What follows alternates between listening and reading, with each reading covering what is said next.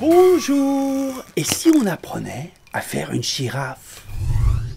Il faut gonfler un ballon, de préférence jaune, en laissant une marge d'environ 5 doigts, ou au choix une bonne largeur de main.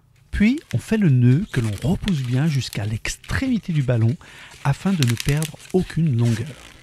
On plie le ballon à la distance d'environ 3 doigts du nœud, puis on fait une bulle juste en dessous du pli ce qui nous permet d'excentrer le pli de la bulle et ainsi obtenir l'esquisse d'un front sur la tête de la girafe. Pour former les cornes, on confectionne ensuite une série de 4 bulles.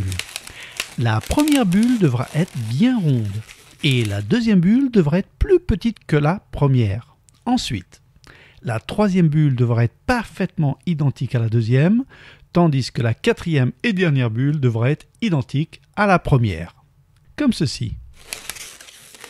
On bloque la série de bulles en les faisant pivoter au niveau de leur base.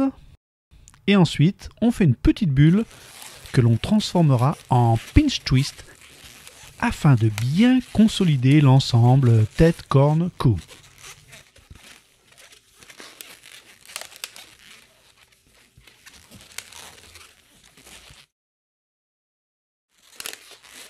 Si nécessaire, on chasse un peu l'air vers la réserve du ballon.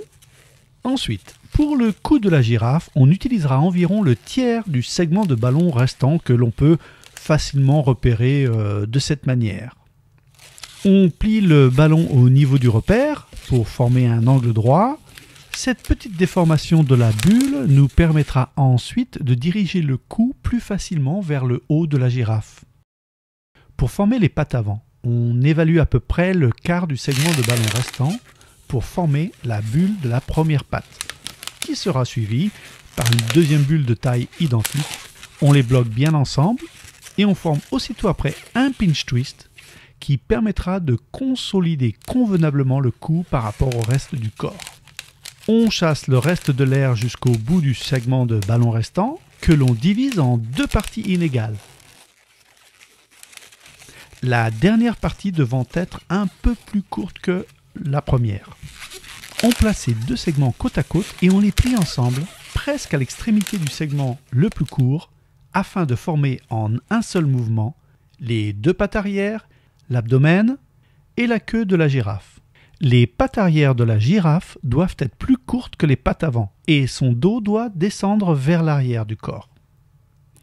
Si l'angle que nous avons formé à la base du cou s'est un peu détendu, il faudra le reformer afin que le cou s'élance bien vers le haut dans le prolongement des pattes avant.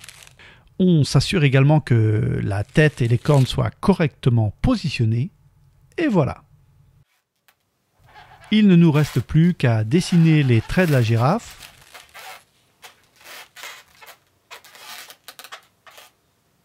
ainsi que quelques taches.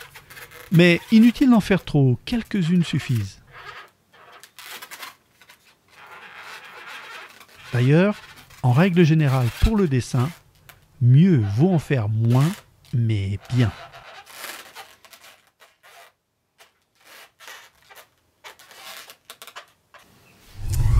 Et voilà, le tour est joué.